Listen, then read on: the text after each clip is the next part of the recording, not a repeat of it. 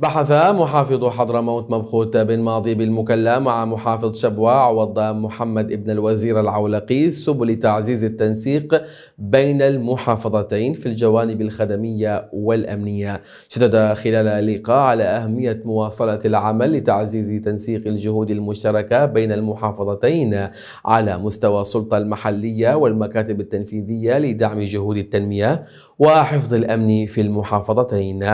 وأكد بن ماضي أن محافظة شبوة محل احترام وتقدير ومحبة أبناء محافظة حضرموت مشددا على انفتاح المحافظة على جميع أبناء الوطن وعلى وجه الخصوص أبناء محافظة شبوة للعلاقات التاريخية.